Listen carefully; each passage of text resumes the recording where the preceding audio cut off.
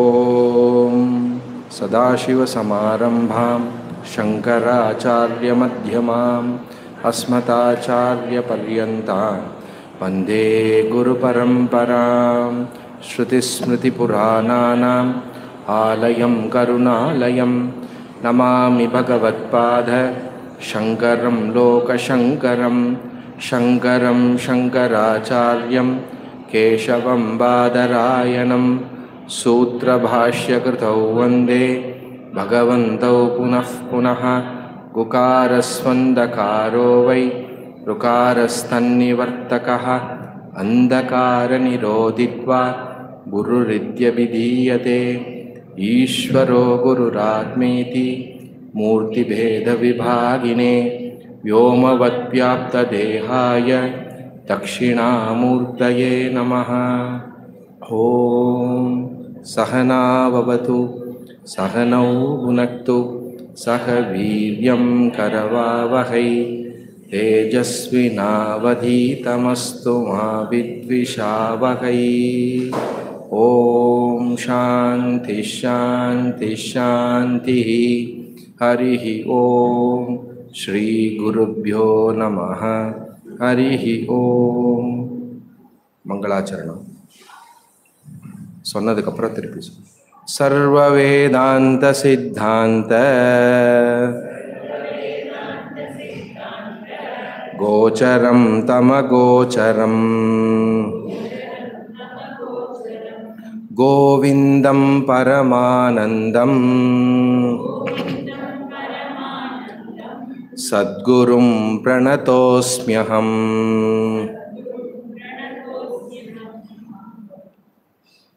ஸ்லோகம் நம்பர்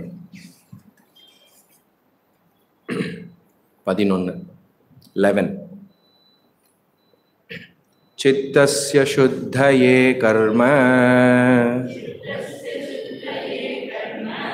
न तु वस्तूपलभ्यते वस्तुसिद्धिविचारेण न किंचित कर्म कोटि चित्त शुद्ध कर्म। न तो वस्तुपलब्ध वस्तु सिद्धि विचारेण न किंचित कर्म कोटि सम्यक विचारत सिद्धा। रज्जु तत्वावधारणा भ्रांत्योदित महासर्प भय दुख विनाशिनी सम्यक विचारत सिद्धा। रज्जुतत्त्वावधारणा भ्रान्त्योदितमहासर्प பயதுக்கவிநாசினி இது மட்டும் பார்த்துருக்கோம் சில பேர் வந்து ரிக்வெஸ்ட் பண்ணிண்டா இன்னொரு வாட்டி சொல்லுங்கோ எங்களுக்கு சொல்லறதுக்கு பிடிச்சிருக்கு ஸோ அவளுடைய வேண்டுகோளுக்கு இணங்கி ரெண்டு ரெண்டு வாட்டி சொல்கிறோம்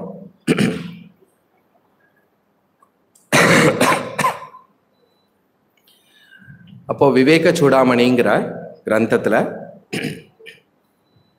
ரொம்ப முக்கியமான நிறைய விஷயங்கள் பார்த்துன்னு வரோம்.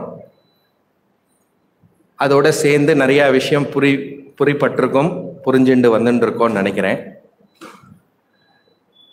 ஜென்மாவுடைய ரகசியம் என்ன? ஏன் மனுஷ ஜென்மா எடுக்கணும்?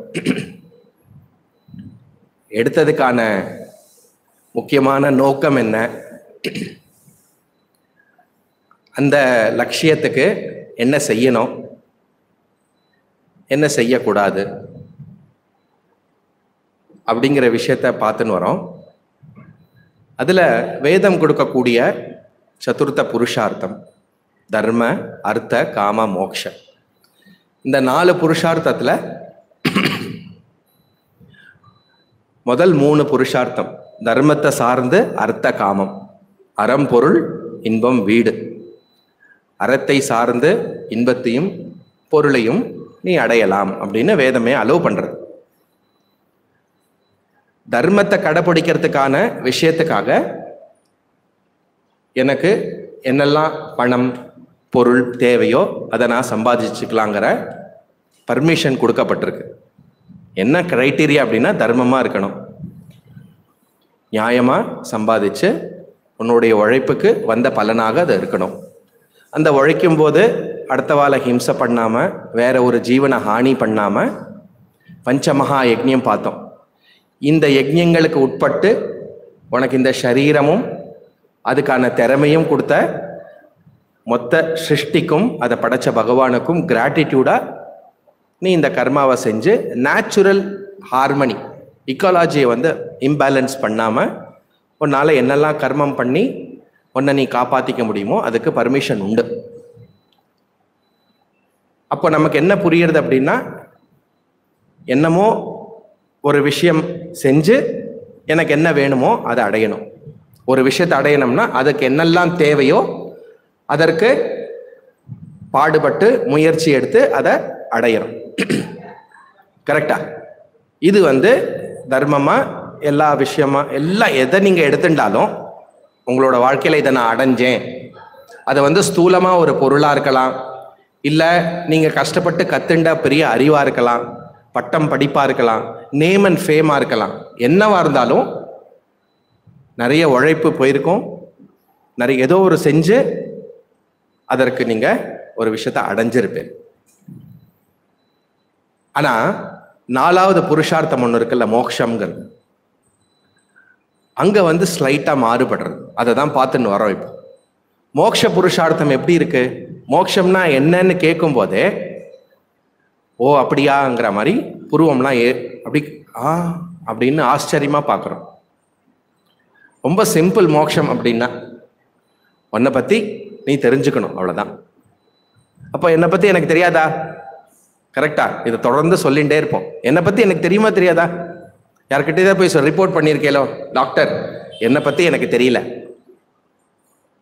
இந்த மாதிரி யார்கிட்டையும் சொல்ல மாட்டோம். என்னை பற்றி எனக்கு தெரியும்.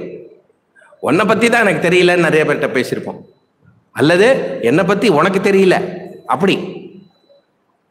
கரெக்டா என்னை பற்றி நீ தெரிஞ்சுக்கவே மாட்டேங்கிற. என்ன நீ புரிஞ்சுக்கவே மாட்டேங்கிற. ஃபஸ்ட்டு நீ ஒன்ன நீ புரிஞ்சுட்டியா? அங்க கேள்வி. அப்போ மோக்ஷங்கிற லட்சியம் இருக்கு இல்லையா? எங்க லட்சியம் எங்க மோக்ஷம் எங்க மோக்ஷம் ஏற்படுறதுன்னா ஞானத்துல மோக்ஷம். ஞானம் தான் மோக்ஷம். ஞானாத்தியேவ மோக்ஷம். அந்த ஞானம் என்னது அப்படின்னா என்னை பற்றின ட்ரூ நாலேஜ் என்னை பற்றின அறிவு தான்? அங்கே ஞானம் அதுதான் மோக்ஷம். சரி. அப்போ இவ்வளோ நாள் நிறைய விஷயம் நான் செஞ்சு செஞ்சு அடைஞ்சேனே என்னோட திறமையெல்லாம் யூஸ் பண்ணி எவ்வளோ விஷயம் நான் செஞ்சுருக்கேன். அந்த மாதிரி ஏதோ ஒன்று பண் பண்ணி இவ்வளோ வருஷம் ப்ரோக்ராம் பண்ணி பிளான் பண்ணி இதெல்லாம் செஞ்சுட்டோம் அப்படின்னா மோட்சமா? அப்படின்னு கேள்வி நேச்சுரலாக எழும்பும். சரி அந்த மோட்சத்துக்கு நான் என்ன செய்யணும்? கரெக்ட் ஏன் அப்படி கேட்குறோம் அப்படின்னா தர்மத்தில் நம்மளுடைய நடைமுறை வாழ்க்கையில் சாதாரணமான லைஃப்பில் என்னெல்லாமோ செஞ்சு என்னெல்லாமோ அடைஞ்சிருக்கோம். ஸோ ஒரு விஷயத்தை அடையணும்னா ஏதோ ஒன்று செய்யணுங்கிற ஆழமான அறிவு நமக்கு இருக்கு. அப்போ என்ன அப்படின்னா கர்மத்தில் கர்மம் செஞ்சு அந்த கர்ம பலனாக இவ்வளோ விஷயம் நம்ம இவ்வளோ நாள் அடைஞ்சிருக்கோம். அதே மாதிரி ஞானமும் மோட்சமும் கர்ம பலனா? அப்படிங்கிற கேள்வி தான் நம்ம என்ன செய்யணுங்கிற கேள்வியில் அடங்கியிருக்கு இங்கே இவ்வளோ ஸ்லோகத்தில் என்ன வலியுறுத்துறார் அப்படின்னா என்ன எம்பசைஸ் பண்ணுறாரு அப்படின்னா மோக்ஷம் மட்டும் ஞானம் மட்டும் கர்ம பலன் கிடையாது. நம்பர் ஒன் அந்த கர்ம பலன் மோக்ஷம் அப்படின்னா என்ன? என்னை பற்றி முழுமையாக தெரிஞ்சுக்கிறது. அல்லது நான் எங்கெல்லாம் வந்து பந்தப்பட்டிருக்கேனோ எதிலெல்லாம் நான் துக்கப்பட்டு துயரப்பட்டு இருக்கேனோ அதுலேருந்து நிரந்தரமாக விடுபடுவர். சுதந்திரம். நான் இந்த உலகத்தில் படைக்கப்பட்டவன். என்னை காப்பாத்துறதுக்கு ஆண்டவன் ஒருத்தருக்கான் என்ன? நான் என்னுடைய உற்றார் உறவினருக்கு இதெல்லாம் இதெல்லாம் நான் செஞ்சே ஆகணும். இதுக்கெல்லாம் நான் கமிட்டட் நான் வந்து உட்பட்டவன் லிமிட்டட் ஃபெலோ இப்படின்னு என்னை பற்றி நான் நிறைய ஐடியாஸ் அண்ட் நோஷன்ஸ் வச்சுருக்கேன் இல்லையா? அந்த நோஷன்ஸ் அண்ட் ஐடியாஸ் வந்து தவறாக இருக்குன்னு சுட்டி காட்டுறது சாஸ்திரம். அதுலேருந்து ஓ நான் அப்படின்னா நான் யாரு? அப்படின்னா அங்கே ஏற்படக்கூடிய ஞானம் நான் ஆத்ம சைத்தன்யம் ஆத்ம ஞானம். அகம் பிரம்ம அஸ்மி. அது கன்க்ளூஷன் வாக்கியம். சொல்றக்கூடிய உபதேசம் வந்து தது தொம் அசி நீ யாருன்னு கேட்ட கேட்டேன்னா அந்த பரமாத்மாவே நீ தான் புரியுறது இல்லையா? அப்போ நித்யானந்த நித்திய சுத்த இந்த வார்த்தை எல்லாம் நம்ம படிக்க போறோம். எதுக்கும் உட்படாத எல்லாவற்றுக்கும் ஆதாரமாக இருக்கக்கூடிய தத்துவம் அப்படிப்பட்ட பிரின்சிபல் நீ. கிளியர் அப்போ இந்த விஷயத்தை மட்டும் கர்ம பலனை அடைய முடியாது. ஏன்னா நான் சப்போஸ் ஒரு விஷயத்த கர்மத்துடைய பலனா நான் அடைஞ்சேன் அப்படின்னா அந்த பலன் எவ்வளோ நாளைக்கு இருக்கு? கரெக்ட் ஒரு காலம் இருக்கும் அப்புறம் இந்த கர்ம பலன் போயிடும். நான் ஒரு விஷயத்த போய் ஏதாவது ஒரு நல்ல காரியம் பண்ணி அதுலேருந்து வரக்கூடிய புகழை நான் அடைஞ்சேன் அப்படின்னா எவ்வளோ வருஷம் உங்களை புகழ்வா? நாலு நாள் புகழ்வா ஒரு மாதம் புகழ்வா ரெண்டு மாதம் அதுக்கப்புறம் மூணு மாதம் கழிச்சு பார்த்தா நீ என்ன அதை பற்றி சொல்லவே இல்லை? அதான் இவ்வளோ நாள் சொல்லிட்டேனே முடிஞ்சு போச்சு. கரெக்ட் அப்போது எனக்கு ஏற்படக்கூடிய சந்தோஷம் கர்ம பலன் எல்லாமே எப்படி இருக்கு? தாற்காலிகமாக இருக்கு. வந்து போகக்கூடிய விஷயமா இருக்கு. மோட்சம் அப்படியா? மோட்சம் வந்து போக விஷயம் அப்படின்னா என்ன ஆகிறது? மோக்ஷம்னு ஒரு சொல்லுக்கு அர்த்தமே இல்லாமல் போயிடும். Correct two plus two four அப்படிங்கிற விஷயம் புரிஞ்சுட்டோமா நம்ம? என்ன நடக்கிறதுங்க டூ ப்ளஸ் டூங்கிற அஜ்ஞானம் நீங்கினதுனால டூ ப்ளஸ் டூவோட ஃபோர் அறிவு இருக்குன்னு சொல்கிறோம் கரெக்ட் அப்போது இங்கே என்னை பற்றின அறிவானது ஏற்படுறது அப்படின்னா அங்கே எனக்கு கிடைக்கக்கூடிய ஞானமானது நிரந்தரம். அந்த ஞானத்தினால ஏற்படக்கூடிய பலன் நித்யானந்தம். அது கர்ம பலன் கிடையாது. அப்போ ஒரு கர்மத்தை செஞ்சு ஆயிரக்கணக்கான பூஜை யஜ்ய யாகம் எல்லாம் செஞ்சா கூட ஞானம் மட்டும் அதுலேருந்து கிடைக்காது. கரெக்ட் ஞானத்துக்கான இப்போ இங்க ஃபுல்லா இருட்டா இருக்குன்னா என்ன பண்ணணும்? வெளிச்சம் வரதுக்கு என்ன பண்ணணும்? ஒரே சொல்யூஷன் தான். லைட்டு போட்டானோ லைட்டு போட்டால் தான் இருட்டு நீங்கும். அப்போ இருளுக்கு எது ஆப்போசிட்டு அப்போ என்னுடைய பிரச்சனை மூல காரணம் எல்லாம் துக்கம் துயரத்துக்கு அஜ்ஞானம் தான் மூல காரணம்னா அதுக்கு சொல்யூஷன் என்னது? ஞானம். கர்மம் கிடையாது. கர்ம பலன் கிடையாது. இதை தான் வலியுறுத்தின்னு வந்துட்டு இருக்கார் இதை தான் எம்பசைஸ் பண்ணின்னு வரார். அப்போ நெக்ஸ்ட் கொஸ்டின் என்ன கேட்போம்? இந்த ஞானத்துக்கு நான் என்ன செய்யணும்? இந்த ஞானத்துக்கான விஷயம் என்ன? அப்படின்னு கேட்டோம்னா விசாரஹா. நமக்கு எவ்வளோ விசாரம் இருக்கும். இது தமிழ் விசாரம் இல்லை. அந்த விசாரம் இல்லை. இங்கே விசாரம்ங்கிறது வந்து அலசி ஆராய்ந்து அறிவு அடைவது ஒரு குரு கிட்ட போய் சாஸ்திர அறிவை வேதாந்த அறிவை என்னை பற்றி என்ன சொல்கிறது உண்மையாகவே நான் என்ன என்னை பற்றி கன்க்ளூஷன் வச்சுருக்கேன்? எங்கேயாவது டிஃப்ரென்ஸ் இருக்கா? எங்கே கான்ஃப்ளிக்ட் இருக்கா? அப்படின்னு ஃபுல்லாக டீட்டெயிலாக அதை அலசி ஆராய்ந்து கிளாஸை திருப்பி திருப்பி இந்த சப்ஜெக்டையே திருப்பி திருப்பி கேட்டு ஸ்ரவணம் கேட்ட விஷயத்தில் என்னெல்லாம் சந்தேகம் வருதோ அவர் அது வந்து குரு கிட்ட முறையாக படித்தவர்கிட்ட அந்த சந்தேகத்தை நிவர்த்தி பண்ணிட்டு திரும்பி அதே விஷயமா மனசில் அதே விஷயத்தை திருப்பி திருப்பி கொண்டு வரதுக்கு பேர் மனநமும் நிதித்தியாசனமும். அப்போது ஞான விசாரம்னா ஸ்ரவணம் மனநம் நிதித்தியாசனம். அப்போ ஞானத்துக்கு டைரக்ட் சாதனம் எது? ஸ்ரவண மனன நிதித்தியாசனம் அல்லது ஞான யோகம் அல்லது ஞான விசாரம். இங்கேருந்து டெல்லிக்கு போறேன்னு வச்சுக்கோங்க என்ன? சில பேருக்கு ட்ரெயினில் போகிறதுக்கு ரொம்ப பிடிக்கும். கரெக்டா ஃப்ளைட்லன்னா டக்குன்னு ஏறி டக்குன்னு வந்துடும் ட்ரெயின்லன்னா கொஞ்ச நேரம் உட்காந்துண்டு ஃபஸ்ட்டு போன உடனே சாய் காஃபி காஃபி சாய் அப்படின்னு வரும். கரெக்டா அந்த குரலை கேட்டாலே ஒரு மனசில் அப்பா டீ வந்துடுது சூடா. சரி நெக்ஸ்ட் என்னப்பா வருது? அவனை கேட்போம். நீங்கள் பெரிய லாங் ட்ரெயின்லாம் போனீங்கன்னா பேண்ட்ரி கார் அங்கே இருக்கும். என்னன்னா அங்கே ஒரு கிச்சன் இருக்கு. அதுக்கும் சேர்த்து தான் டிக்கெட்டில் இது இருக்கு. நெக்ஸ்ட் என்ன வருது? மேடம் நெக்ஸ்ட் வந்து சமோசா கொண்டு வரேன் ஆ சமோசா. இந்த மாதிரி இன்ட்ரெஸ்டிங்காக நிறைய விஷயம் வரும். இப்போ ட்ரெயினில் போகிறதுனா அது ஒரு தனி ஜாய் அந்த சாப்பாடே ஒரு ஜாய் இப்போ நீங்கள் டெல்லிக்கு போனால் என்ன ட்ரெயினில் ஏறுவேல்? கோயம்புத்தூர் போகிற ட்ரெயினில் ஏறுவேலா? என்ன ட்ரெயினில் ஏறுவேல்? டெல்லி ட்ரெயினில் தான் ஏறியானோம் நம்பர் ஒன் ட்ரெயின் எங்கே போய் எங்கள் வீட்டு வாசலில் வரணும் ஓலா மாதிரி Delhi train please come here சிக்குன்னு click பண்ணால் டெல்லி ட்ரெயின் வருமா? வீட்டு வாசலில் ட்ரெயின் வராது. நான் என்ன பண்ணணும்? நான் ஸ்டேஷனுக்கு போகணும். ஸ்டேஷனுக்கு போகணும். கரெக்டாக டெல்லி ட்ரெயினில் ஏறணும்.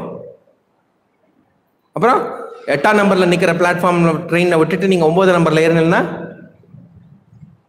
வேற இடத்துக்கு போயிடும் கரெக்ட் நீங்கள் ஓலா பிடிச்சோ ஊபர் பிடிச்சோ ஸ்டேஷனுக்கு ஃபஸ்ட்டு போகணும். கரெக்ட் போய் சரியான பிளாட்ஃபார்மில் சரியான ட்ரெயினில் ஏறிட்டேல்னா டெல்லிக்கு போயிடலாம் சில இடத்துல இந்த ஜோலார்பேட் ஜங்ஷன்லாம் பார்த்துருக்கேல ஜங்ஷன் ஆனால் எப்படி இருக்கும்னா ஸ்டேஷன் ரெண்டு பக்கமும் ட்ரெயின் வரும். இது அஞ்சு நிமிஷம் நிற்கும் இது அஞ்சு நிமிஷம் நிற்கும் ம்? அப்புறம் இந்த ட்ரெயின் வர மட்டும் இந்த ட்ரெயின் நின்றுருக்கும் இருக்கும் ஏன்னா இங்கேருந்து இறங்கி இந்த பக்கம் ஏறணும். சில நேரம் என்ன ஆகும்னா ரெண்டும் ஒரே நேரத்தில் இது கிளம்புற நேரத்தில் இது வரும். அந்த மாதிரி ரொம்ப க்ளோஸாக இதுவாயிடும். அப்போது ஒரே நேரத்தில் ரெண்டு ட்ரெயின் இப்படி கிளம்பும். நீங்கள் இங்கே ட்ரெயின் மாறணும். இல்லை நீங்கள் அப்போ தான் ஜோலார் பெட் ஸ்டேஷனுக்குள்ளே வரையும் எந்த ட்ரெயின் ஏறுவேல் எவ்வளோ கஷ்டம்? இதெல்லாம் எதுக்கு சொல்கிறீங்க இப்போ சடனாக எங்களுக்கு தெரியாதா? இப்போ டெல்லிக்கு போகணும். சரியான ட்ரெயினில் ஏறணும். ட்ரெயினில் ஏறுறதுக்கு இங்கேருந்து ஒரு வழியாவோ பஸ்ஸுலேயோ கார்லேயோ ஏதோ ஒன்று பண்ணி ஸ்டேஷனுக்கு போகணும். கரெக்டாக அப்போ ஞானம் அடையறதுக்கு ஞான விசாரம் டைரக்ட் மீன்ஸ் டைரக்ட் சாதன். டெல்லி ட்ரெயின் ஏறுற மாதிரி. அந்த டெல்லி ட்ரெயினை பிடிக்கிறதுக்கு என்ன பண்ணணும்? எப்படி ட்ரெயின் பஸ்ஸோ காரோ பிடிச்சி ஸ்டேஷனுக்கு கரெக்டான பிளாட்ஃபார்முக்கு போகிறோமோ அந்த ஞான விசாரத்துக்கு உனக்கு சில யோகியதையெல்லாம் வேணும். சில குவாலிஃபிகேஷன் வேணும் சில எலிஜிபிலிட்டி வேணும். கரெக்டா அப்போ நான் செய்கின்ற எல்லா விதமான ரிலீஜியஸ் லைஃப்ல என்னுடைய அனுஷ்டானம் தர்மம் பூஜை புனஸ்காரம் யஜ்யம் யாகம் ஹோமம் எல்லாமே எப்படி? இந்த ஓலா பிடிச்சு போற மாதிரி. ஞான விசாரத்துக்கு என்ன தகுதி வேணுமோ? புரியுறதா? ஸ்ரவண மன்னன நிதித்தியாசனத்துக்கு என்ன குவாலிஃபிகேஷன் என்ன எலிஜிபிலிட்டி வேணுமோ? அது எனக்கு ஜென்மாந்திரமாக பண்ணின கர்மாவோடைய புண்ணியத்தில் கிடைக்கணும். என்ன அந்த பலன் அப்படின்னா பதினோராவது ஸ்லோகத்தில் சித்தஷ்ய சுத்தையே கர்ம. ஞான விசாரத்துக்கு எப்படிப்பட்ட தூய்மையான பக்குவமான மெச்சூர்டு அந்த கரணம் அல்லது மைண்டு தேவையோ அது வந்து கர்மம் தான் கொடுக்கும். நான் எதுவுமே செய்யாமல் உட்காந்துட்டு நிறைய நேரம் ரொம்ப காலம் இதை புஸ்தகம் மட்டுமே படிச்சுட்டு இருந்தேன் அப்படின்னா விசாரத்தோடைய பலன் எனக்கு சரியாக கிடைக்காது. அப்போ விசாரம் பண்ணுறதுக்கு தகுதி வேணும். தகுதி இல்லாமல் விசாரம் பண்ணினோன்னா விசாரத்தோடைய பலன் டைரக்டாக கிடைக்காது. அது வேஸ்ட் எதுவுமே வேஸ்ட் கிடையாது. பட் எந்த நோக்கத்தில் நீங்கள் பண்ணுறீங்களோ அது டைரக்டாக கிடைக்காது. அப்போ என்ன பண்ணணும்னா என்னுடைய சமய வாழ்க்கை என்னுடைய ரிலீஜியஸ் லைஃபு நீங்கள் காத்தால ஏ ஏற்றுற விளக்கு ஏற்றுறையில் இல்லையா? எழுந்த உடனே கராகிரே வசதே லக்ஷ்மி சொல்கிறோமா அட்லீஸ்ட் இப்போது கை பார்க்கலனா கூட எழுந்த உடனே மொபைல் எடுக்கிறோம். மொபைல் எடுத்த உடனே ஃபஸ்ட்டு ஷார்ட்கட்டில் ஒரு பட்டனையாவது ப்ரெஸ் பண்ணு மொபைலில் ஃபஸ்ட்டு சுவாமி ஃபோட்டோ வச்சு. அட்லீஸ்ட் அந்த ஒரு டக்குன்னு அமுக்கினா அந்த மந்திரம் சொல்கிற மாதிரியாவது இருக்கணும். அப்போது இறை சிந்தனையோடைய நாள் ஆரம்பிச்சோம்னா அது நமக்கு நிறைய பலனை கொடுக்கும். இப்போ என்ன செஞ்சாலும் என்ன கர்மத்தை செஞ்சாலும் எப்பெல்லாம் நான் பகவானை நினச்சிண்டு செய்யறேனோ அது என்ன பண்ணுறதுன்னா புண்ணியத்தோட சேர்ந்து எனக்கு மன தூய்மையை கொடுக்கறது. மன தூய்மைனா எப்படி எப்படி தேய்ச்சி இது பண்ணுறதில்ல உனக்கு இந்த ஞான விஷயத்துக்கு போகிறதுக்கு எப்படிலாம் தகுதி தேவையோ என்னெல்லாம் தகுதி தேவையோ சொல்ல போகிறாரோ அந்த விஷயம் உனக்கு கிடைக்கிற அளவுக்கு அந்த மனசான தெம்பு கிடைக்கும். அதுக்கு தான் போன கிளாஸில் சொன்னேன். இப்போ இங்கே ஐம்பது பேர் வந்து உட்காந்துருக்கேன் கோயிலுக்கு எவ்வளோ பேர் வரா? நூறுக்கணக்கான பேர் ஐநூறு பேர் ஆயிரம் பேர் வரா. ஆனால் உட்கார்றதுக்கு இவ்வளோ பேருக்கு தான் சக்தி இருக்குது உட்காரத்துக்கு இவ்வளோ பேருக்கு தான் பக்குவம் இருக்குது கரெக்ட் அதுலேருந்தே நீங்கள் புரிஞ்சுக்கலாம் நீங்கள்லாம் எவ்வளோ ஸ்பெஷல் அப்படின்னு. சரியா? அப்போது கர்மாவோடைய எண்ட் எங்கே இருக்கு? அப்படின்னா மன தூய்மை. அந்த கர்ண சுத்தி. ஃபர்தராக அடுத்த ஸ்லோகத்தில் அதிகாரத்துவம்னு சொல்ல சரியா? அப்புறம் அந்த பக்குவமான மனசில் அந்த பக்குவப்பட்டவன் அந்த சாதகன் என்ன பண்ணுறான் அப்படின்னா ஞான யோகத்தை மேற்கொண்டு குரு கிட்ட போய் நல்லா படித்து சந்தேகத்தை நிவர்த்தி பண்ணிட்டு அந்த ஞான விஷயமாவே சிந்திச்சு இந்த ஞானத்தை அடையறான். திரும்பி அடையறாங்கிற சொல்லி யூஸ் பண்றோம். அடையறான் அப்படின்னா ஏதோ ஒன்று செய்யணுங்கிற மனசுல ஏற்படும். இங்க அடையிற விஷயம் என்ன அப்படின்னா நான் யாருன்னு உண்மையாக தெளிவாக சாஸ்திரப்படி என்ன சொல்லியிருக்கோ அதை நான் உணர்வதே அடைவதற்கு சமம். கிளியரா அப்போ இதை எம்பசைஸ் பண்ணுறதுக்கு அழகாக ஒரு உதாரணம் கொடுத்தார். நம்ம கொஞ்சம் பயப்படுற மாதிரி ஒரு உதாரணம் கொடுத்தார். என்ன கொடுத்தார்? ரஜ்ஜு சர்ப்பம். ரஜ்ஜு சர்ப்பம்னா என்ன? சர்ப்பம்னா பாம்பு தெரியும். ரஜ்ஜு சர்ப்பம்னா இது வேதாந்த பாம்பு.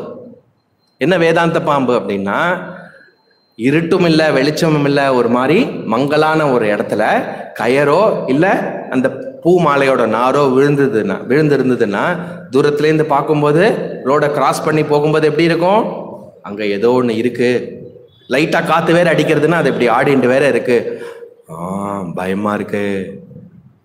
கரெக்டா அப்போ பாம்புங்கிற விஷயம் எனக்கு தோணி அதை வச்சு நான் பயப்படுறேன். ஆனால் அது ஆக்சுவலாக என்னது? வெறும்ன கயரோ இல்லை பூ நாரோ? கரெக்டா ஆனா அதை தெரிஞ்சுக்கிறதுக்கு அந்த பயம் நீங்கிறதுக்கு நான் என்ன பண்ணணும்? ம்? இந்த பாம்புன்னு ஒரு பாம்பு பயம் பாம்பு பயம் ஏற்பட்டிருக்கு இல்லையா? அந்த பயம் நீங்கிறதுக்கு நான் என்ன செய்யணும்? சாரதாம் போயிருக்கேலா சாரதாம் இப்ப சீசன் சாரதாம்னா தெரியும்ல? கங்கோத்ரி யமுனோத்ரி கேதார்நாத் பத்ரிநாத். யாத்ரா. இந்த யாத்ரா போயிட்டு வந்துட்டு வந்தேன்னா அந்த பயம் போயிடுமா? போகாது. எல்லாரும் இப்போ ஜல கஷ்டம். ஜலம் இல்லை. எல்லாருக்கும் கூப்பிட்டு ஜல தானம் பண்ணுறேன்னு வச்சுக்கோங்க. அந்த பயம் போயிடுமா? அது கயறு அப்படின்னு தெரியற மட்டும் உனக்கு அந்த பயம் வந்துட்டு தான் இருக்கும். புரிஞ்சுக்கோங்க அண்ணா. அதனால இந்த உதாரணத்தை சொல்லி ஞானத்தினால தான் உனக்கு மோக்ஷம் அஜானத்தினால ஏற்பட்டக்கூடிய விளைவுகள் பயம் துக்கம் சோகம் துயரம் எல்லாமே அஜ்ஞான காரியமா இருக்கு. அது நீங்கிறதுக்கு ஞானம் தான் அதுக்கும் ஹெல்ப் பண்ணும். அப்போ பாம்புங்கிற பயம் நீங்கிறதுக்கு அது? அது பாம்பு இல்லை நான் பார்த்த பாம்பு அந்த பாம்பு பாம்பல்ல. அது கயறு நாறு. அப்படின்னு வெளிச்சம் போட்டு எப்படி தெரிஞ்சுக்கிறோமோ சாஸ்திரத்தோடைய வெளிச்சத்துல குருவோட வாக்கியத்துல இந்த சப்ஜெக்ட் நான் யாருன்னு உண்மையா தெரிஞ்சுட்டேன்னா இப்போ நான் பட்டுருக்கிற கஷ்டம் அந்த கஷ்டத்துக்கான மூல காரணம் சகித சர்வம் நிவர்த்தி. எப்படி? அறிவினால மட்டுமே. எனக்கு பேக் பெயின் இருக்கு. அதில் நான் ரொம்ப கஷ்டப்பட்டு இருக்கேன் அந்த பேக் பெயின் போயிடுமா? கண்டிப்பாக போகாது. அப்படியே தான் இருக்கும். ஆனால் எனக்கு இப்படி வந்துருத்தே. பேக் பெயின் ஒரு கஷ்டத்தை கொடுக்கறது. அதுக்கு மேலே நம்ம என்ன பண்ணுறோம் எனக்கு இப்படி வந்துருத்தே. எனக்கு ஏன் இப்படி வரணும்? நான் என்ன செஞ்சேன்? எனக்கு நினைவு தெரிஞ்ச மட்டும் நான் எல்லாம் நல்லா தானே பண்ணிட்டு இருந்தேன். எவ்வளோ பேருக்கு எவ்வளோ செஞ்சுட்டு இருக்கேன்? இப்படிலாம் கஷ்டப்படுறோம்ல. கஷ்டத்துக்கு மேலே எக்ஸ்ட்ரா ஒரு கஷ்டம் ஜென்ரேட் பண்ணிக்கிறோம்ல. அந்த எனக்கு எனக்கு ஏன் இப்படி வந்தது? எனக்கு எனக்குன்னு சொல்றேன்ல. அந்த எனக்குங்கிற என்ன அறிவோ அது உனக்கு கிடச்சிடும். அதனால அப்படி நீ பெயினை நீ சாரோவாக மா மாற்ற மாட்டேன் பேக் பெயின் இருக்கு. பெயின் ரிமைன்ஸ் அதை வந்து எக்ஸ்ட்ராவாக அதை வந்து துயரப்படுத்திட்டு அதுலேருந்து நீ டிப்ரெஸ் ஆகி அந்த மாதிரிலாம் பண்ண மாட்டேன் அங்கே தான் உனக்கு வேதாந்தம் ஹெல்ப் பண்ணுறது எந்த நான் இந்த நானுங்கிற அறிவு இதற்கெல்லாம் உட்பட்டு இருக்கு. இப்படிலாம் நடந்தா சந்தோஷம் இப்படிலாம் நடக்கலைன்னா எனக்கு துக்கம் இப்படியெல்லாம் வச்சிருக்கேன்ல என்ன கண்டிஷன் பண்ணி வச்சுட்டு இருக்கேன்ல அந்த கண்டிஷன் நீங்கிவிடும். புரியுறது இல்லையா அப்போ அதனால ஞானத்தினால உனக்கு தான் மோக்ஷம் அப்படின்னு சொல்லி அடுத்த ஸ்லோகம் என்னன்னு பதிமூணாவது ஸ்லோகம்.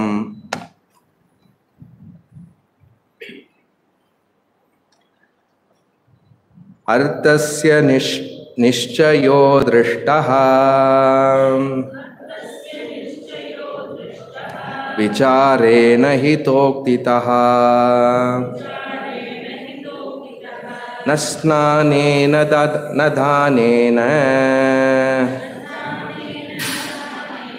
प्राणायामशतेन वा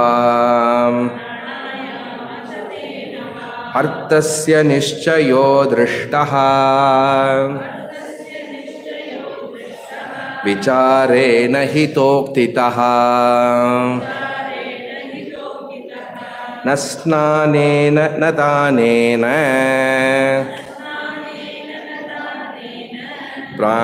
प्राणायामशतेन वा அர்த்தஸ்ய அப்போ இந்த ஞானம் அல்லது எது சத்தியம் எது உண்மை எது அறிவு?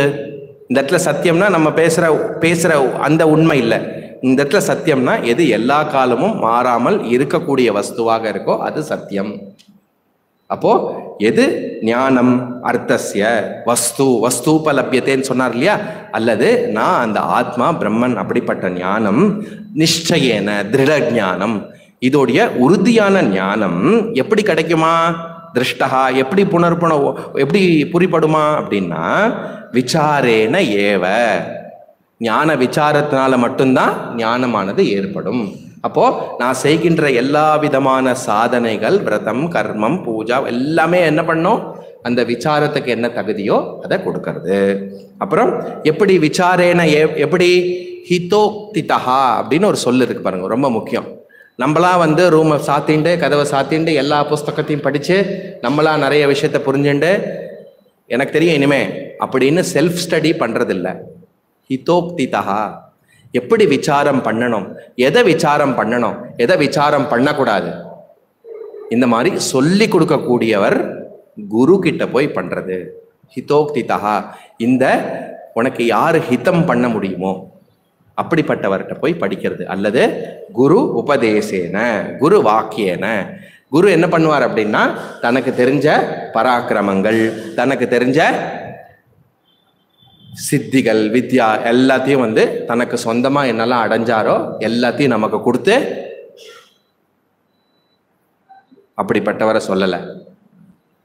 இங்க சொல்றக்கூடிய குரு யாரு அப்படின்னா யாரு சிஷ்யனா இருந்து முறையா ஒரு சிஷ்யன் என்னெல்லாம் கஷ்டப்படுவானோ அல்லது ஒரு அஜ்ஞானி எப்படிலாம் கஷ்டப்பட்டு அந்த சம்சாரத்தை உணர்ந்து அந்த ஞான விஷயத்தை அடைஞ்சு சுதந்திரமாக முக்தனாக முக்தனா அடைஞ்சிருக்கானோ தன்னுடைய குரு கிட்ட படித்து அப்படிப்பட்டவர் தான் குரு கிட்ட கற்ற விஷயத்த தன்னுடைய சிஷ்யர்களுக்கு அப்படியே சொல்ற கூடியவர் குரு. இதில் ஒரு ஒரு வேர்டு இம்பார்ட்டன்ட் அப்பனா என்ன அர்த்தம்? யாராவது எனக்கே தெரியும் இது நானே சொல்கிறேன் அப்படின்னு சொன்னான்னா அவளை நமஸ்காரம் பண்ணிட்டு அப்படியே பிரதட்சணமாக வந்துட்டு நம்ம பாட்டுக்கு சைடில் வந்துடும் ஏன் அப்படின்னா இது சம்பிரதாயம். ஒரு ஒரு வார்த்தை எப்படி யூஸ் பண்ணணும் எந்த கான்டெக்ட்ல யூஸ் பண்ணணும் எப்படி யூஸ் பண்ணால் அது கரெக்டாக எப்படி புரியுங்கிறதுக்கான சம்பிரதாயம் வந்துட்டுருக்கு புரியுது இல்லையா? சதாசிவ சமாரம்பாம் சங்கராச்சாரிய மத்தியமாம் அஸ்மதாச்சாரிய பரியந்தாம் மந்தே குரு பரம்பரா. அதனால இங்க சொல்றக்கூடிய ஹிதோக்த சம்பிரதாய விது சங்கரர் இடத்துல சொல்றார் அசம்பிரதாய விது மூர் மூர்க்கேனேவ அபக்ஷயா. யாரு சம்பிரதாயத்துல வந்து ஃபாலோ பண்ணலையோ அவ மூர்க்கனுக்கு சமானம். பிரயோஜனப்படாது அப்படின்னு ரொம்ப ஸ்ட்ராங்கா இந்த இடத்துல சொல்றான் அப்போ அப்படி ஞான விசாரத்தினால தான் ஞானமானது ஏற்படுறது அதுவும் குரு உபதேசத்தினால தான் ஞானம் ஏற்படுறது. அடுத்த லைன் பாருங்க. ந ஸ்நானேன. ந ஸ்நானேன என்ன? நமக்கே புரியும். ஸ்நானம்னா என்ன? தீர்த்தாடனம். கரெக்ட் எல்லா இடத்துலையும் போய் நம்ம குளிச்சுட்டு வரோம். புண்ணிய ஸ்தலத்துலலாம் குளிச்சுட்டு வரோம். அப்புறம் ந தானேன. தானம் த- தானம் தர்மம் சொல்றோம்ல நிறைய தானம் பண்ணுவோம். அதுக்கு தான் அந்த சொன்னேன். அது கயர் பாம்பு இல்ல கயிறுன்னு தெரிஞ்சுக்கிறதுக்கு கங்கால போய் குளிச்சுட்டு வந்தா என்ன ஆகும்? அது கயறுன்னு உனக்கு உறுதியா தெரியற மட்டும் நீ எங்க போய் குளிச்சாலும் என்ன பண்ணாலும் பயம் இருந்துன்னு தான் இருக்கும். அதே மாதிரி எல்லா விதமான தானம் தர்மம்னா செஞ்சேன்னா குருதே கங்கா சாகர கமனம் ரத பரிபாலன அதவா தானம் ஞான விஹீனம் சர்வமதேன பக்தி ந பஜதி ஜன் முக்தி ந பஜதி ஜன்மசதேன பஜ கோவிந்தம் பஜ கோவிந்தம் கோவிந்தம் பஜ மூடமதே சங்கரர் பஜ கோவிந்தத்துல நீ போய் க- கங்கால குளிச்சாலும் எல்லா விதமான விரதங்களை பரிபாலனம் பண்ணி தியானம் தானம் என்ன பண்ணினாலும் என்ன நீ செஞ்சுட்டாலும் கர்மத்தில் முக்தி ந பஜதி ஜென்மசத்தேன நூற்றுக்கணக்கான ஆயிரக்கணக்கான ஜென்மமானாலும் உனக்கு முக்தியானது இதனால ஏற்படாது. என்ன சொல்றாரு? ஞானத்தினால தான் உனக்கு முக்தி மோட்சம்னு எம்பசைஸ் பண்றாரு. அப்புறம் என்ன சொல்றாரு? பிராணாயாம சத்தேன. கொஞ்சம் டிஸ்டன்ஸ்ல அந்த கயிறுக்கு முன்னாடி உட்காந்துட்டு பிராணாயாமம் யோகம் ஆசனம் இதெல்லாம் நான் பண்ணிகிட்டே இருந்தேன்னா என்ன ஆகும் தெரிஞ்சிருமா? லைட்டை போய் அடைச்சது பா இதுவா என்னன்னு பார்த்து கட்டையால் எப்படி பண்ணி ஆ இது வந்து பாம்பு இல்லை அறிவுனால தான் உனக்கு அதுலேருந்து அந்த பயத்துலேருந்து நிவர்த்தி. புரியுது இல்லையா? அதே விஷயத்தை திரும்பி எம்பசைஸ் பண்ணி ஃபர்தரா என்ன சொல்றார்? இப்போ வந்து பதினாலும் பதினஞ்சும் சேர்த்து படிப்போம் अधिकारिणमाशास्ते।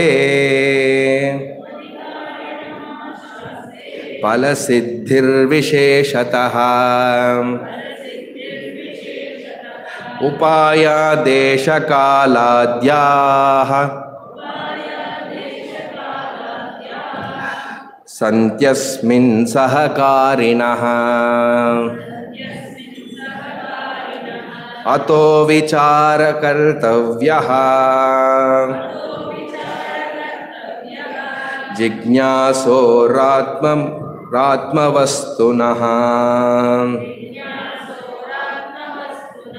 समासाद्य दया सिन्धुम्। गुरुं ब्रह्मविदुत्तमम्।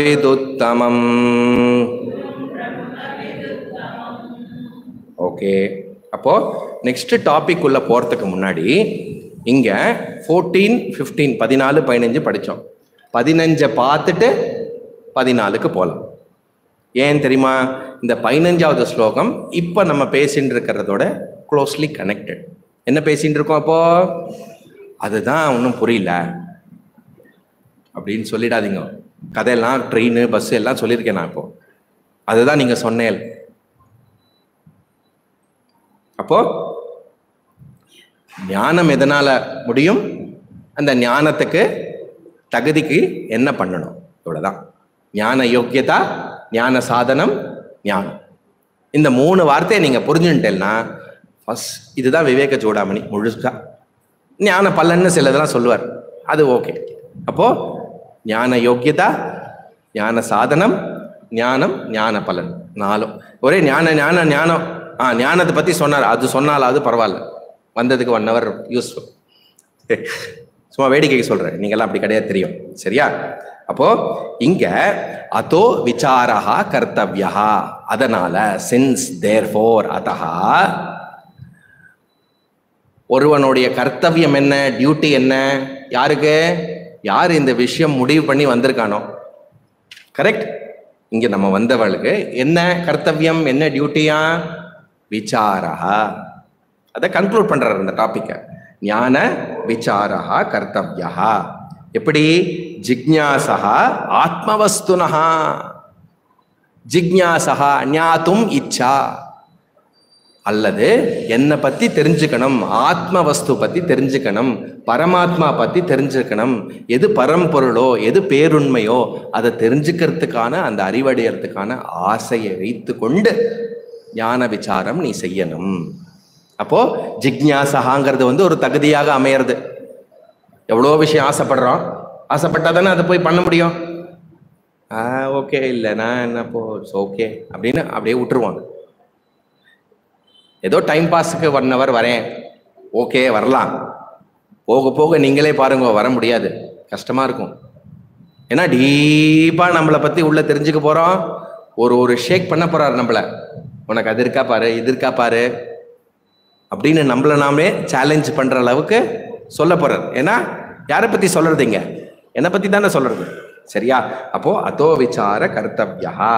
அப்போ விசாரம் தனியாக பண்ணக்கூடாது. திருப்பி திருப்பி சொல்றோம். தனியா புக்கை படிச்சோ இது படிச்சோ நானே யோசிச்சு பண்றாம இல்லாமல் இந்த பரம்பரையில இந்த சம்பிரதாயத்துல இந்த மாதிரி கிளாஸ் நடக்கிற இடத்துல என்ன சொல்றா எப்படி சொல்றா அப்படின்னு ஜாக்கிரதையா போய் கேட்டு என்ன கேட்கணுமா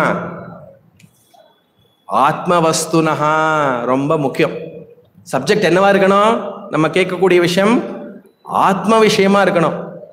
ராமாயணம் கேட்கலாம் மகாபாரதம் கேட்கலாம் எல்லா பாகவதம் எல்லாமே கேட்கலாம்.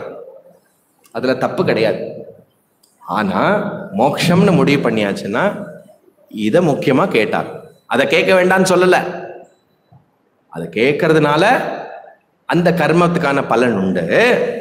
அது யூஸ்ஃபுல் இம்பார்ட்டன்ட் ஆனா அதை மட்டுமே கேட்கறது வந்து ஆத்ம ஞானத்தை கொடுக்காது. எங்க ஆத்ம ஞானம் நமக்கு கேட்கிறோமோ அங்கேருந்து நமக்கு அறிவு கிடைக்கும். புரியுது இல்லையா? அப்போ ஜிக்ஞாசா எது மேல இருக்கணும்? ஆசை எது மேல இருக்கணும்? அறிவு அடையறதுக்கான ஆசை ஆத்மா அல்லது டிசைர் ஃபார் மை செல்ஃப் என்னன்னா நான் யாருன்னு தெரிஞ்சுக்கிறதுக்கான ஜிக்ஞாசா இருக்கணும். புரியுறது இல்லையா? அப்போ இந்த இடத்துல ஒருத்தன் முடிவு பண்ணி ஜிக்ஞாசா அப்படின்னா நிஜமாவே குவாலிஃபைடு பர்சன் நிஜமாவே முடிவு பண்ணி இந்த ஒன் ஹவர் வெளியில் எங்கேயும் போகாமல் எல்லா விஷயத்தையும் நிறைய அட்ஜஸ்ட் பண்ணி இது பண்ணி அது பண்ணி இது பண்ணி இதோ வந்துடுறேன் இதோ வந்துடுறேன்னா அப்படின்னு நிறைய பேர் சொல்லிட்டு வந்திருப்பேன்னு நினைக்கிறேன். அந்த மாதிரிலாம் அட்ஜஸ்ட் பண்ணி இங்கே வருது டிசைட் பண்ணி வரதே பெரிய விஷயம். ஃபர்தரா என்ன பண்ணணும் அப்படின்னா என்னுடைய துக்கம் துயரம்லாம் ரூட் காஸ் என்ன? எங்கே என்னுடைய சம்சாரம் இருக்கு? வெளியில் இருக்கிறவனால எனக்கு துக்கமா? என்ன? இந்த சுச்சுவேஷனால எனக்கு துக்கமா? எதனால எனக்கு ஏற்படுறது இந்த விஷயம்? அப்படின்னு ஆழமாக சிந்திச்சு அந்த சம்சாரம்னு சொல்கிறோம் இல்லையா அது என்னன்னு புரிஞ்சுண்டு அதற்கு தீர்வு வேதாந்தம் தான் அப்படின்னு முடிவு பண்ணி வரக்கூடியவன் ஜிக்ஞாசா என்னெல்லாமோ சொல்றான் முதல் அத்தியாயத்துல அர்ஜுனன். அப்படி பண்ணிடலாம் கிருஷ்ணா இது பண்ணா தப்பு கிருஷ்ணா அது பண்ணா கரெக்ட் இல்லை கிருஷ்ணா நம்ம எல்லாம் இப்படி பண்ணிடலாம் நம்மளே இப்படி பண்ணலாமா? எல்லாம் சொல்றான். தர்மம் தர்மம் சா இதுவாயிடும் வர்ண சங்கரம் ஆயிடும் வர்ணாசிரமே போயிடும் அப்படி இப்படிலாம் சொல்றான். கடைசியில ரெண்டாவது அத்தியத்தை என்ன சொல்றான்? கிருஷ்ணா ஏதோ நிறைய பேசிட்டேன் போல இருக்கு. எல்லாம் யோசிச்சு பார்த்ததுல எனக்கு இருக்கக்கூடிய பிரச்சனைக்கு தீர்வு வெளியில இல்லை போல இருக்கு. இதெல்லாம் பண்ணினா அதுக்கு தீர்வு இல்லை போல இருக்கு. யுத்தத்தில் ஜெயிச்சாலே அதுக்கு தீர்வு இல்லை போல இருக்கு. அதனால எனக்கு எது நல்லதோ அதை நீ சொல்லு கிருஷ்ணா அப்படின்னு சிஷ்யன் ஆகிறான் அப்ப என்ன ஆறுது?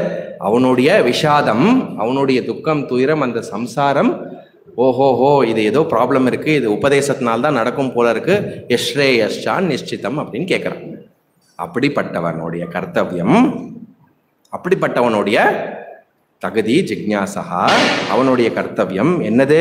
குரு சமாசாத்திய குரும் சமாசாத்திய அப்படின்னா ஒரு குருவை நாடி சென்று இந்த ஞானத்தை அடைய வேண்டும்.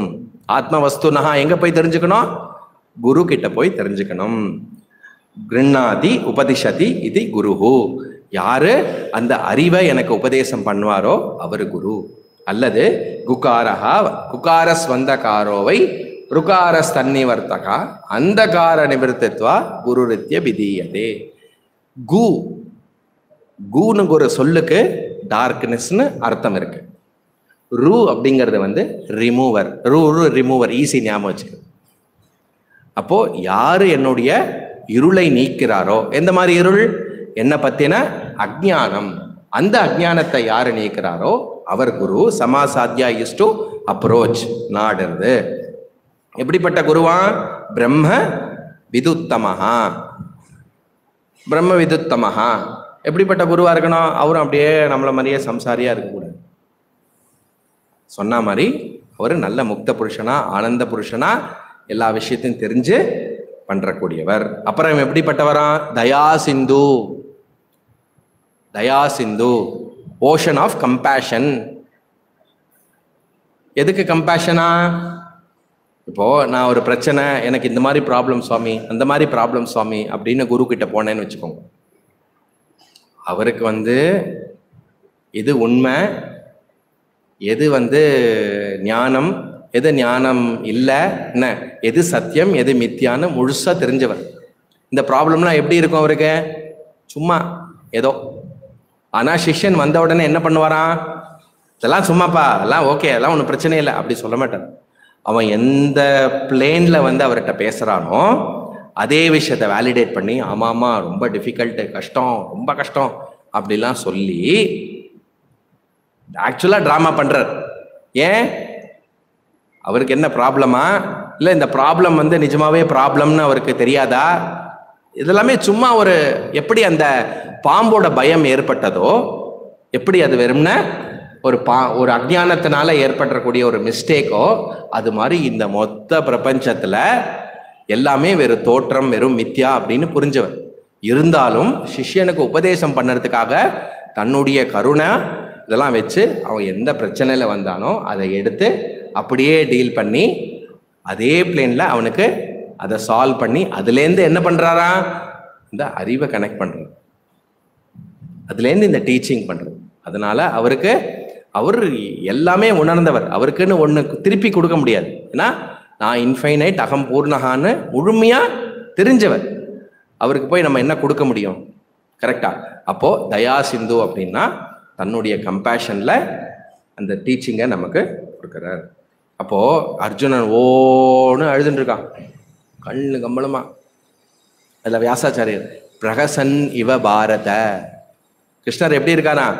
இந்த பிரச்சனைக்கெல்லாம் ஞானத்தை சொல்லி கொடுத்தா முடிஞ்சு போச்சு. ஆக்சுவலாக பிரச்சனைன்னு ஒன்று இல்லவே இல்லை. புரிஞ்சுக்க போகிறான் புரிஞ்சுக்க போகிறான் அப்படின்னு மனசுக்குள்ளே நினச்சிண்டு அதே நேரத்தில் சிரிக்காம சிரிக்கும்படியாக ஒரு முகத்தை வச்சுட்டு இருக்காரு பிரகசின்னவ பாரத குருக்கு தயா சிந்து அப்படின்னு சொல்லி அடுத்த பதினாலாவது ஸ்லோகம். அப்படிப்பட்ட இப்போ இந்த டாபிக் என்ன அப்படின்னா ஞானத்துக்கு ஞான விசாரம் தான் சாதனம். அந்த விசாரம்னால தான் உனக்கு மோட்சமும் ஞானமும் கிடைக்கும் அப்படின்னு சொல்லிட்டு அந்த ஞான விசாரம் செய்வதற்கு எப்படிப்பட்ட எலிஜிபிலிட்டி குவாலிஃபிகேஷன் தேவை அப்படின்னு சொல்ல போறார். அதுல ஃபர்ஸ்ட் சொல்றாரு அப்படின்னா அதிகாரி அதிகாரினா அதிகாரினாம் ஆசாஸ்தே பல சித்தி விசேஷதா பல சித்தி ஞான விசாரம் சப்போஸ் இதுதான் ஞானம். இந்த மாதிரி கிளாஸ் கேட்டு கேட்டு கேட்டு கேட்டு அதை வந்து சந்தேகம் படித்து படித்து இதுக்கு பேர் ஞான விசாரம். இந்த ஞான விசாரத்துடைய பலன் உனக்கு கிடைக்கணும்னா என்ன இருக்கணுமா? ஆஷாஸ்தே எதை சார்ந்திருக்கு? டிபெண்ட்ஸ் ஆன் அதிகாரத்துவம். உன்னுடைய குவாலிஃபிகேஷனில் அது இருக்கு. சப்போஸ் தகுதி இல்லாமல் விசாரம் பண்ணினோன்னா அதோடைய பலன் கிடைக்காது அப்படின்னு சொல்கிறேன் அப்போ அதனால தான் நீங்க பார்த்தேன்னா இந்த மாதிரி உபனிஷத்து இந்த மாதிரி பெரிய விஷயம்லாம் மேக்சிமம் வந்து ஓரளவுக்கு ரகசியமா வச்சிருந்தா. எல்லாரையும் கூப்பிட்டு வாங்கோ வாங்கோன்னு இந்த தத்துவத்தை டக்குன்னு சொல்ல முடியாது. ஏன்னா இது வந்து ப்ராப்பரா தகுதி அடைஞ்சு இதற்கு ஒரு ஒரு பக்குவம் வந்து அதுக்கப்புறம் இதை வந்து கேட்டு தெரிஞ்சுண்டு பண்ணுறக்கூடிய விஷயம். கிருஷ்ணர் கீதையில சொல்றார் ந புத்தி பேதம் ஜனையே. ஆல்ரெடி ஒருத்தன் ஏதோ ஒன்று பண்ணிட்டு இருக்கான் அப்படின்னா அவனை கூப்பிட்டு இதெல்லாம் சொல்லி கன்ஃபியூஸ் பண்ணாத. ஆனா அதே நேரத்துல அவன் செய்யக்கூடிய எல்லா விதமான சமய வாழ்க்கை அவனுடைய எல்லா விதமான அனுஷ்டானம் இந்த விஷயத்துக்கு கூட்டின்னு விடும். அர்ஜுனனை எப்படி கூட்டின்னு வந்து ர- குருக்ஷேத்திரத்துல வந்து அவனுக்கு வந்து புரியுறது இந்த ஞான விஷயம் கிடைக்கணும் உபதேசம் கிடைக்கணும்னு அவனுக்கு இருக்கு. அது மாதிரி எல்லாருக்கும் இந்த விஷயம் இருக்கும். இந்த புண்ணியம்ங்கிறது ஃப்ரக்டிஃபை ஆகும். அப்போ அதுக்கான தகுதி இருந்தா இந்த விஷயம் உபதேசம் பண்றதுனால கண்டிப்பா பலன் கிடைக்கும். இல்லைன்னா என்ன? டிலே ஆகும். ஓ அப்ப நாங்க அடுத்த கிளாஸ்லேருந்து வரவே கூடாதா? அப்படின்லாம் நினச்சிக்காம இது கேட்கறதுனாலயே இது கேட்க வந்து உக்காந்துருக்கிறதுனாலயே என்ன ஆகுறது நமக்கு தகுதி கொஞ்சம் இருக்குன்னு நம்ம டிசைட் பண்ணிக்கணும். சப்போஸ் எனக்கு தகுதி இல்லையே அப்படின்னு யோஜனை வந்ததுன்னா இதை சொல்கிறேன் ஐயோ நம்மளை தகுதி இல்லை அதனால தகுதி இருக்குது அப்படிலாம் கன்ஃபியூஸ் பண்ணுறோன்னு நினச்சிக்க வேண்டாம். அந்த மாதிரி யோஜனை வந்ததுன்னா நம்ம எல்லாம் ஆல்ரெடி வி ஆர் ஹியர் இந்த விஷயத்தை கேட்க வந்திருக்கோம். அதனால யாரு இல்லையோ அவளை கூப்பிட்டு இப்போ நம்ம ஃப்ரெண்ட்ஸ்லாம் நிறைய பேர் இருப்பா. என்ன சொல்கிறாரு தெரியுமா? இங்கே வா நான் எல்லாத்தையும் சொல்கிறேன் அப்படின்னு நீங்களா கூப்பிட்டு சொல்லக்கூடாது. என்ன பண்ணலாம் அப்படின்னா நமக்கு புதுசாக ஒரு விஷயம் அங்கே சொல்லப்படுறது. நீ வேணா வந்து கேட்டு பாரு. அப்படின்னு வேணா that is a maximum limit நம்மளா கூப்பிட்டு அவளை வந்து சொன்னோம் அப்படின்னா ஓடியே போயிடுவா. ரிலேஷன்ஷிப்பே ஸ்பாயில் ஆகிடும் அவளா வந்து அவளா புரிஞ்சுட்டு அவளா டிசைட் பண்ணி அவளா ஓனப் பண்ணி இந்த பயணத்தில் போகணும். புரியுறது இல்லையா? அப்போ அதிகாரத்துவம் அல்லது எலிஜிபிலிட்டி குவாலிஃபிகேஷன் ரொம்ப முக்கியமாக இருக்குது அப்படின்னு பலசித்தி ஆசஸ்தே அதிகாரினா ஞான விசாரம் அல்லது ஞான விசாரத்துடைய பலன் என்ன? ஞானம். அந்த ஞானமானது தகுதியை சார்ந்திருக்கு. எலிஜிபிலிட்டியை பொறுத்து இருக்கு அதிகாரத்திய அதிகாரத்துவத்தை பொறுத்து இருக்கு. அப்போ பொதுவா சொல்றப்பட விஷயம் கர்ம யோகம் உபாசன யோகம் இதெல்லாம் சொல்லப்படுறது சாஸ்திரத்துல. உன்னுடைய தர்மத்தையே பகவானை நினைச்சுண்டு வரக்கூடிய ரிசல்ட்டை பகவானுடைய பிரசாதமாக எடுத்துட்டு அதுக்கப்புறம் எவ் எந்நேரமும் எவ்வளோ முடியுமோ மானசீகமாக எவ்வளோ கோல முடியுமோ பகவானை தியானிக்கிறது மூலியமாக மன பக்குவம் ஏற்படும். இந்த என்ன தகுதியை சொல்ல போகிறோமோ அது நமக்கு ஈஸியாக கிடைக்கும் அப்படின்னு சொல்லி தேச அது மட்டும் இல்லை ஒரு முக்கியமான கதை இருக்கு உபனிஷத்துல. பிரம்மாஜி கிட்ட பிரம்மலோகத்துக்கு ரெண்டு பேர் வரா. இந்திரனும் சந்திரனும் சொல்லக்கூடாது. நமக்கு இந்திரன் சந்திரன் அந்த படம்லாம் ஞாபகம் இருக்கும். அதை சொல்லலைங்க. இந்திரனோ அப்புறம் விரோச்சனன். அசுர குலத்துல ராஜா தேவகுலத்துல ராஜா ரெண்டு பேர் வரா எதுக்காக? இந்த ஆத்ம ஞானத்தை அடையிறது ஸோ பிரம்மாஜி என்ன பண்றார்? நீங்க போய் கண்ணாடியில அல்லது நதியில உங்க மூஞ்சியை பாருங்க. ஆத்மானா என்னன்னு கேட்டா என்ன சொல்றார்? ஜலத்துல போய் முகத்தை பாருங்க. அப்படின்னு ரெண்டு பேரும் பார்க்கறா ஓ ஜலத்துல பார்த்தா என்ன தெரியும்? மீன் தெரியும். அதெல்லாம் அப்படி சொல்லக்கூடாது. என்ன? ஃபஸ்ட்டு நீங்கள் ஜலத்தை நல்லா பார்த்தீங்கன்னா உங்கள் முகமே உங்களுக்கு தெரியும். கண்ணாடியில் பார்க்குற மாதிரி அப்படியே தெரியும். கரெக்டா அப்போது விரோச்சனன் என்ன முடிவு பண்ணுறான் ஓஹோஹோ இந்த தேகம் தான் ஆத்மா. என்ன? இதுதான் உடம்பு தான் ஆத்மா. இதுதான் அறிவு. இதுதான் மோட்சம் அப்போ உடம்ப நன்னா பார்த்துக்கணும். அப்படியே உடம்ப ஜாலியாக பார்த்துட்டு காவோ பியோ மஜா கரோ. கடனை வாங்கியாவது ஜாலியாயிரு. கடனை திருப்பி கொடுக்கலன்னா பரவாயில்ல. அதுக்கு அழகான ஒரு ஸ்லோகமும் இருக்கு. புரியுதா? அப்படின்னு முடிவு பண்ணி தப்பா புரிஞ்சுட்டு போயே போயிட்டான். இந்திரன் மட்டும் என்ன பண்றாரு? அவரும் கிளம்பிட்டார். ஆனா எங்கேயோ இடிக்கிறதே இந்த உடம்பு வந்து ஒரு நாள் போயிடுமே. இது இவ்வளோ கஷ்டப்படுறதே இந்த உடம்பு. இது எப்படி நித்திய சுத்த முக்த ஆத்ம சைத்தன்யமா இருக்க முடியும் அப்படின்னு திரும்பி வந்து கேட்குறான் திரும்பி போய் திரும்பி வரான். திரும்பி போய் திரும்பி வரான். அப்புறம் கடைசியா ஓ அப்படின்னு புரிஞ்சுக்கிறேன். புரியுது இல்லையா? இப்போ விரோச்சனன் புரியலன்னா கூட பரவாயில்ல. தப்பா புரிஞ்சுட்டு போயிட்டான். சாருவாக மதம்னு அங்கேருந்து வந்துட்டு இருக்கெல்லாம் சாருவாக மதம்னா என்ன தெரியுமோ? காவோப்பியோ எல்லாம் அவளுக்கு மெயின் உடம்பு தான் எப்படி என்ஜாய் பண்ணலாம் எப்படி ஜாய்ஃபுல்லாக இருக்கலாம் அதுதான் அவளுடைய மோட்டிவ் கோவில் கீவில் எல்லாம் ஒன்றும் வர வேண்டிய அவசியம் இல்லை அவனுக்கு. புரியுது இல்லையா?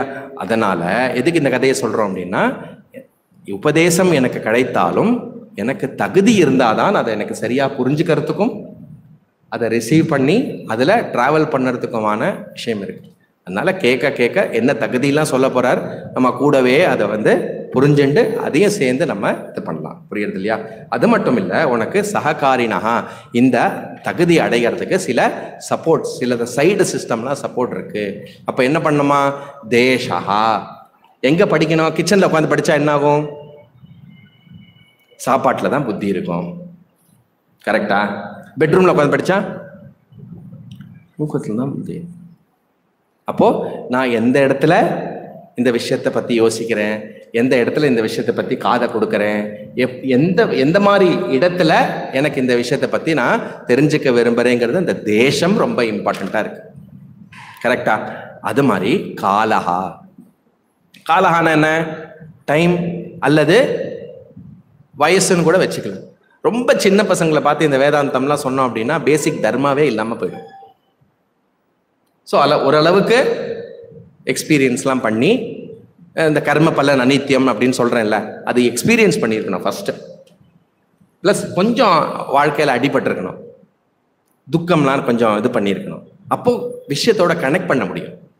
எதுக்காக சொல்கிறது உன்னுடைய துக்கம் துயரம்லாம் அப்படின்னு ஒருத்தனுக்கு அந்த மாதிரி அனுபவே இல்லாத நேரத்தில் சொன்னோம் அப்படின்னா அவனை என்ன பண்ணுவான்? என்ன துக்கம் துயரம் சொல்கிறீங்க அந்த மாதிரிலாம் உண்மை இல்லையே. நாட் ரெலவெண்ட் நிஜமாவே அடிபட்டு உதப்பட்டு அம்மா முடியலையே இதுக்கு ஏதாவது தீர்வு உண்டா? என்ன வழி தெரியலையே பகவானே ரத்னகிரீஸ்வரா ரத்னகிரீஸ்வரா இப்படிலாம் பண்ணுறோம்ல துடிக்கிறோம்ல. அப்போது ரத்னகிரீஷ் என்ன பண்ணுவார்? இந்த மாதிரி கிளாஸ்க்கு அமுச்சு வச்சிருவார். அங்கே பாரு அங்கே இருக்க சொல்யூஷன் கரெக்டா அப்போது ஓரளவுக்கு ரொம்ப இது இல்லாமல் ஓரளவுக்கு எக்ஸ்பீரியன்ஸ் ஓரளவுக்கு பக்குவம் இல்லவங்கள்ட்ட இந்த விஷயம் அப்போ காலஹா. அதுவும் உனக்கு இம்பார்ட்டண்ட் ஒரு சப்போர்ட் புரியுறது இல்லையா? அதுக்கப்புறம் ஆதிஹி. ஆதிஹின்னு என்ன? என்விரான்மெண்ட் கச்ச கச்ச கச்ச கச்ச கச்ச நீங்கள் பெரிய ஃபங்க்ஷன் நடக்கிறதுனா இந்த மாதிரி கிளாஸ் நடக்க முடியுமா? ஏதாவது கேட்குமா கான்சென்ட்ரேட் பண்ண முடியுமா? புரியுதா? இப்போவே நமக்கு வந்து போயிட்டு வரும்போது அவளையே பார்க்குறோம். இது வந்து கோயில் தரிசனம் பண்ண வரான் அவள் மட்டும் போயிட்டு வரான் நம்ம இதுக்கு அப்படியே பார்க்கணும் அவளை? நிறைய டிஸ்ட்ராக்ஷன் சுத்து சுற்றுனால நமக்கு ஏற்படுறது.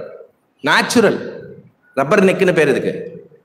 என்னது? ஏதாவது ஒன்றுனா ஒரு கும்பலாக நின்னா இங்கே இந்த இந்த- இந்த சிக்னல் எல்லாம் அப்படியே சில பேர் அப்படியே வந்து நின்றுட்டு போவான் ஏதோ ஒரு டூ வீலர் இன்னொரு டூ வீலரை அடிச்சு அவன் பாட்டுக்கு ஏதோ சண்டை சோ ஓரமாக போட்டுட்டு இருப்பான்.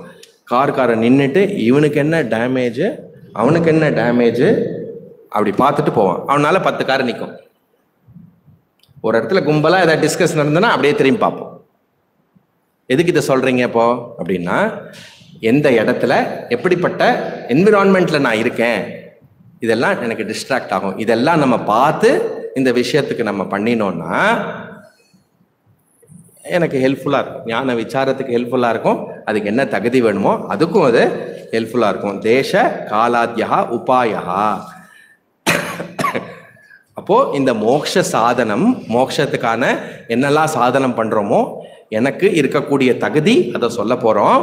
அது மட்டும் இல்லை இது படிக்கிறதுக்கு இதை தெரிஞ்சுக்கிறதுக்கு சில தேச காலம் அதாவது இடம் பொருள் ஏவல் அதெல்லாம் சொல்றோம்ல அதெல்லாமும் ரொம்ப முக்கியம் அதெல்லாமும் நீ பார்த்து பண்ணிக்கணும் அப்படின்னு பதினஞ்சாவது பதினாலாவது முடிகிறது அடுத்தது என்னது சிக்ஸ்டீன் செவன்டீன் கரெக்டா ஸ்லோகம் பதினாறு मेधावी पुरुषो विद्वान्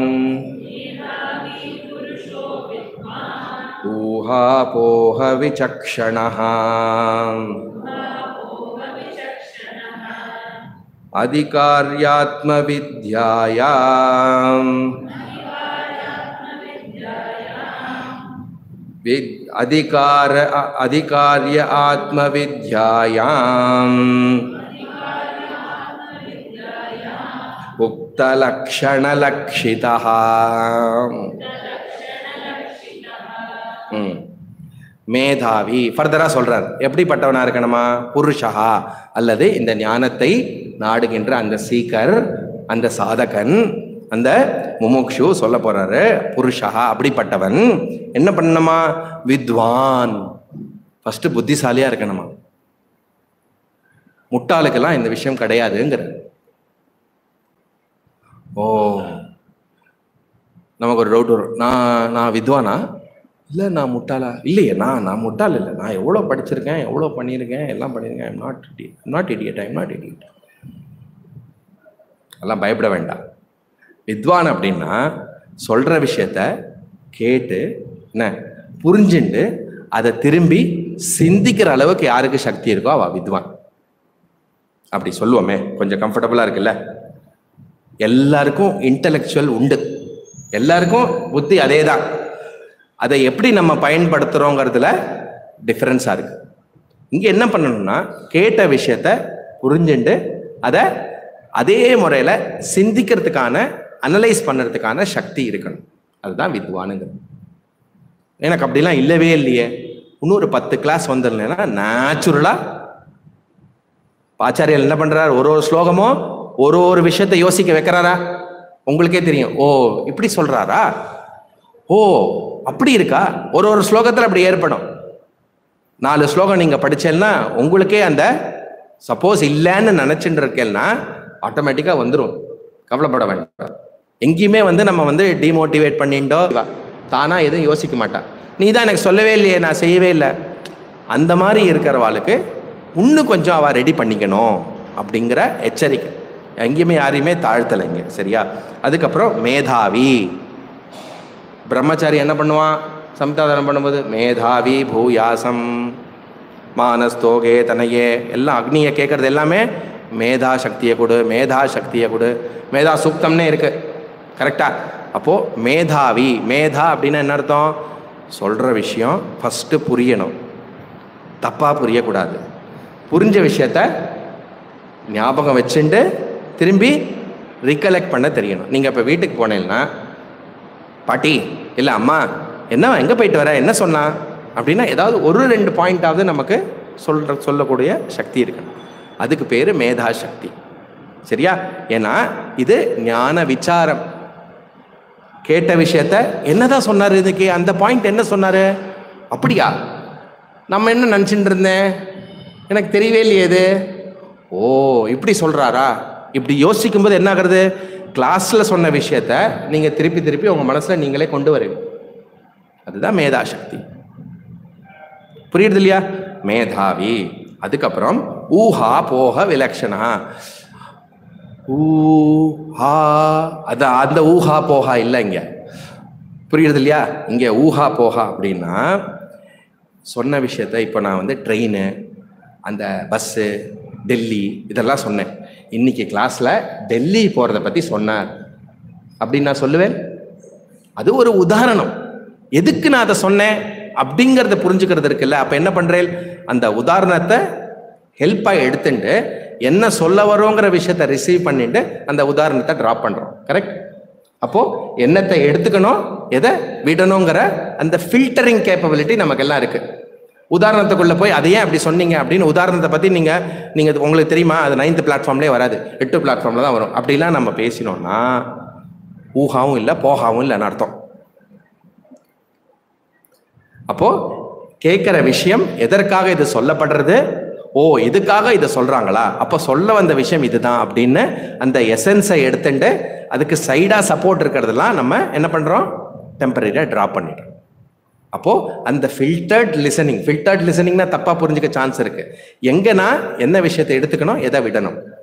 ஊஹா poha taking and receiving and rejection அல்லது அதற்கு சப்போர்ட்டாக என்ன பண்ணுறதுன்னா நம்ம வைதிகத்தில் வியாக்கரண தர்க்க மீமாம்ச சாஸ்திரம் கொடுக்கப்பட்டிருக்கு ஒரு விஷயத்தை புரிஞ்சுக்கிறதுக்கு எந்த மாதிரி எதனால இது அப்படி சொல்கிறாங்க அப்படின்னு லாஜிக் அது தர்க்க சாஸ்திரம். மீமாம்சம்னா ஓ இது இப்படி சொல்லறதா? ஓ இதுக்கு இதுதான் அர்த்தமான்னு விசாரம் பண்றதுக்கான சயின்ஸ் வந்து சயின்ஸ்ன்னு சொல்றத விட விசாரம் பண்றதுக்கான சாஸ்திரம் வந்து மீமாம்ச சாஸ்திரம். ஒரு பதம் அதுக்கு அர்த்தம் என்ன? அது ஏன் இப்படி யூஸ் பண்றது வந்து கிராமர் அது வியாக்கரணம். அதுக்கு பேர் ஊஹா போக விலக்ஷணா இதுக்கு இதை சப்போர்ட் சிஸ்டமாக வச்சுட்டு எதை நான் புரிஞ்சுக்கணும்? எதை நான் விட்டுறலாம். ஏன்னா இப்போ இப்போ பிரம்மாஜி கதையெல்லாம் சொல்றது அந்த கதைனால என்ன பிரயோஜனம்? கதையிலேருந்து என்ன தாத்பரியம்? இந்த உடம்ப ஆத்மான்னு நினச்சிண்டு தப்பா புரிஞ்சுட்டு போய் திரும்பி மாட்டின்னு இருக்காங்கிற விஷயம். அந்த விரோச்சனனோ அந்த பிரம்மாவோ அந்த தண்ணியில பார்க்க சொன்னதோ அதெல்லாம் சைடு விஷயம். புரியுறது இல்லையா? அப்படிப்பட்ட திறமையும் அப்படிப்பட்ட கேப்பபிலிட்டியும் நமக்கு இருக்கணும். என்ன பேசிட்டு இருக்கோம் அப்போ? ஞான விசாரத்துக்கு எந்த மாதிரி எலிஜிபிலிட்டி தகுதியெலாம் நமக்கு வேணுங்கிறத ஒன்று ஒன்றா பார்த்துட்டு இருக்கோம். மேதாவி பார்த்தோம் வித்வான் பார்த்தோம் ஜிக்ஞாசா பார்த்தோம். இப்போ ஊஹா போக விலக்ஷணா. அப்படி பண்ணோம்னா ஆத்ம வித்யாம் அதிகாரி. இப்போ அப் அப்படி இதெல்லாம் இருந்ததுன்னா நீ ஆத்ம வித்யாக்கு நீ தகுதி ஆகுவாய் தகுதி உள்ளவன். இதெல்லாம் பேசிக் குவாலிஃபிகேஷன் நிறைய குவாலிஃபிகேஷன் இருக்கும்ல. பேசிக் குவாலிஃபிகேஷன் ப்ளஸ் டூமா அதுக்கப்புறம் நீ வந்து பிடெக் படிச்சிருக்கணும். ஓகே இல்லை நீ பிஎஸ்சி படிச்சிருக்கலாம். இல்லை நீ போஸ்ட் கிராஜுவேஷன் பிஹெச்டி தான் பண்ணியிருக்கணும். ஆனால் எல்லாத்துக்கும் இது பேசிக் குவாலிஃபிகேஷன் இதெல்லாம் இருக்கணும். கிராஜுவேஷன் பேசிக் குவாலிஃபிகேஷன் அதுக்கப்புறம் இதெல்லாம் இருக்கணும். எப்படி சொல்லப்படுறதோ அதே மாதிரி ஞானத்துக்கு என்ன தகுதி நம்ம இப்போ ஒன்றும் சொல்லலை அது ஒன்றும் அடுத்த ஸ்லோகத்தில் தான் வரப்போகிறது அடுத்த ரெண்டு ஸ்லோகத்தில். அது சொல்கிறதுக்கு முன்னாடி ஃபண்டமெண்டலாக உனக்கு நீ எப்படிப்பட்டவனாக இருக்கணும். முட்டாளுக்கு ஒண்ணுமே தெரியாது படிப்பெல்லாம் வரல. அதனால இவனுக்கு இங்க அமுச்சு விட்டுறலாம். அப்படிப்பட்டவளுக்கெல்லாம் இல்லை. இன்டெலிஜென்ட் பீப்புளுக்கு அறிவாளி எல்லாம் அனலைஸ் பண்றக்கூடிய அப்படிப்பட்டவாளுக்கும் அப்படிப்பட்டவாளுக்கு தான் இங்க என்ட்ரியே அப்படின்னு இன்டைரக்டா சொல்ற புரியுது இல்லையா? அப்போ ஆ- ஆல் அப்போ வந்து கடைசியா அந்த கடைசி வரியில உக்த லக்ஷண லக்ஷிதா. அப்போ இதெல்லாம் பேசிக் குவாலிஃபிகேஷன் பேசிக் எலிஜிபிலிட்டி இதுக்கு ஃபர்தரா என்ன சொல்ல போறேன்? அடுத்த ஸ்லோகத்தை சொல்ல போறேன். உக்தா லக்ஷண லக்ஷிதா அந்த அதிகாரி யாருன்னு உண்மையாவே வரக்கூடிய ரெண்டு ஸ்லோகத்துல நான் சொல்ல போறேன். அது வந்து நம்ம அடுத்த கிளாஸ்ல பார்க்கலாம். ஓம் பூர்ணமத பூர்ணமிதம். பூர்ணாத் பூர்ணமுதச்சதே. பூர்ணஸ்ய பூர்ணமாதாய பூர்ணமேவாவசிஷ்யதே. ஓம் சாந்தி சாந்தி சாந்தி. ஹரிஹி ஓம். ஸ்ரீ குருभ्यो நம ஹரிஹி ஓம்